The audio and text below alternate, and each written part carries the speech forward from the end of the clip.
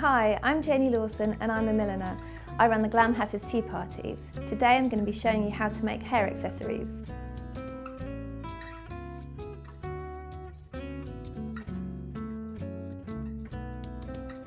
In this tutorial I'm going to show you how to make a peacock fascinator.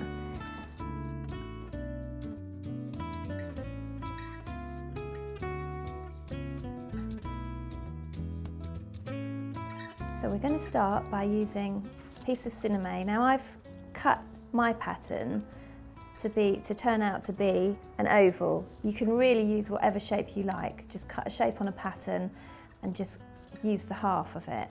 This one, if you wanted to make this shape, is seven and a half centimetres by five centimetres, but you can make it as big or as small as you like. And we're using sinamay for the base. So with my scissors, I cut around the pattern.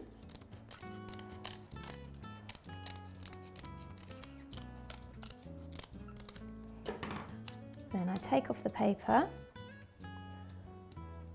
open out the pattern, and that's a double piece of sinamay there, so you end up with a double piece for the base of your fascinator. Now I've got three peacock feathers, and what I like to do, because they look a bit, you know, messy, I give them a little haircut. So I'm just going to trim around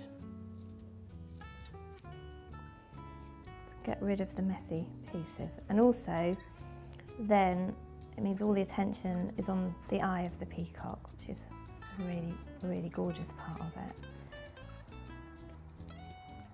So you're going to be using a double thread, not too long, and you want a nice big knot at the end. Now with the sinamay, because it's got quite big holes in it, I do what I call a lasso stitch, which means you don't have to tie a massive knot. So I stitch through, keeping part of the thread on the other side, so I'm not pulling it through all the way, then I'm stitching from the front to the back, and I'm going in between the thread. So I'm just catching the first stitch in a little lasso. You only need to do it on the first stitch or each time you start off a new piece of thread. Then I'm gonna arrange my peacock feathers. So I think I want them, I've got ended up with a big one and two small ones. So I'm gonna put the big one in the middle, two small on each side. So I know I want them about that stage there.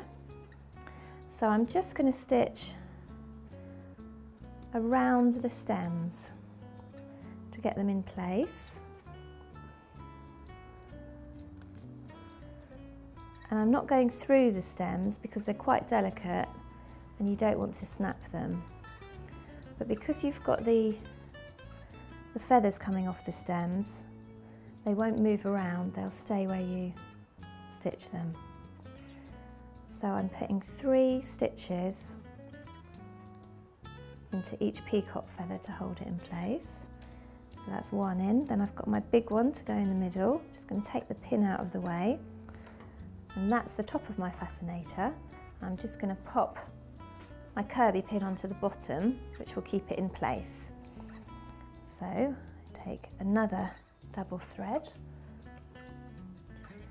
and the easiest way to pop the pin on is to just lift the sinamay so that you're not stitching through the feathers and I'm gonna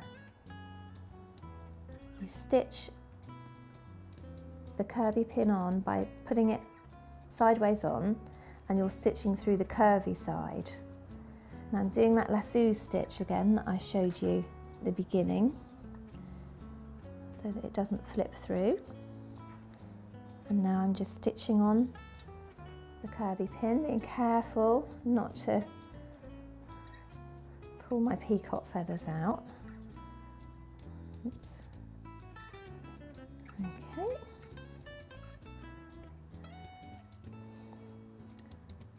You need about three or four stitches just to keep it in place because this is what's going to keep the fascinator on your head so it's quite an important part. So here we go.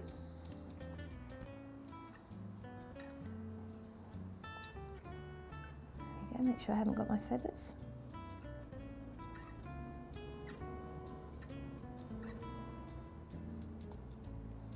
Just be really, really delicate with your feathers.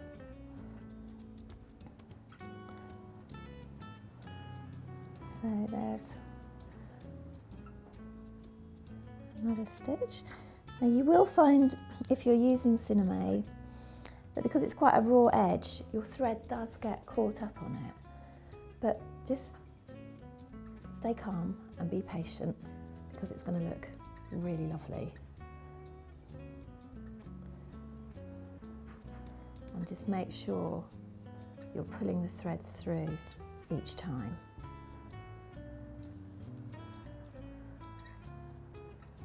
Pop those back out. There we go. And now I'll do one last stitch.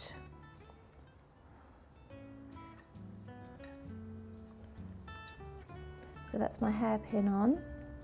And now I'm just going to go with my stitch to the back. So I can do a double stitch here and make sure it's all nice and secure. That's one,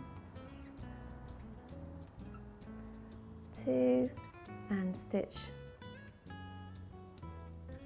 back through the loop of the stitch. And then you can just twist your peacock feathers so that you've got a bit more texture so they're not just lying flat. And that is how you make a peacock fascinator.